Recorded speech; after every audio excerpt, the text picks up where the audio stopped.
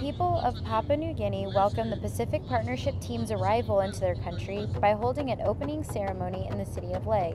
Officials from Papua New Guinea and the United States delivered speeches, the locals played music, and even performed a traditional dance for the audience.